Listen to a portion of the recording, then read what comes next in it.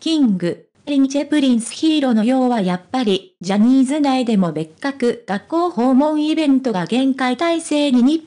ご視聴ありがとうございました。素早く最新情報をもらえるように、チャンネル登録ボタンをよろしくお願いいたします。ありがとうございます。今年5月にリリースされたデビューシングル、シンデレラガールは発売初週で57万7000枚のセールスを達成し、その後も様々なメディアに登場するなど、飛ぶ鳥を落とす勢いのジャニーズグループ、 King & Prince、キンプリ、キンプリ、中でも人気メンバーの平野仕様は、他のジャニタレとは扱いが別格のようだ。主演映画、ウビラブ。9日公開の10月30日の学校サプライズ訪問イベントでのこと。平野はウイラブでヒロインを演じた桜井ひな子と、共に都内の宝泉学園中学高等学校をサプライズ訪問していました。このイベントは、体育館内に生徒たちが集まる中、二人が後方から登場、生徒たちの間を縫って壇上に上がるというものだったんです。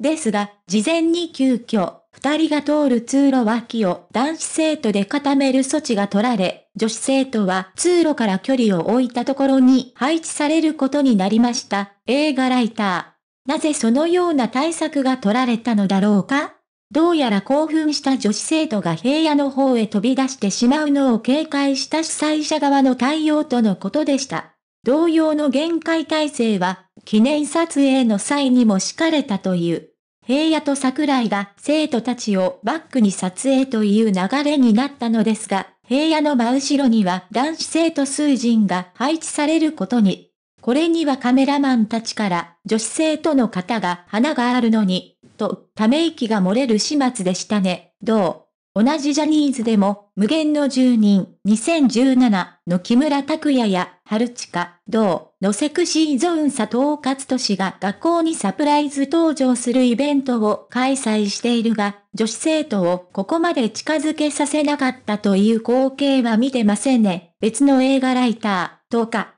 ジャニーズに久しぶりに現れたスター候補だけに、大切に育てているということだろう。平野志陽さんプロフィール1997年1月29日生まれ、愛知県出身。圧倒的なセンスのダンススキルや歌声を持つ一方、チャーミングな発言とのギャップで多くのファンを魅了する。ご視聴ありがとうございました。これからも一緒に応援していきましょうね。チャンネル登録をよろしくお願いいたします。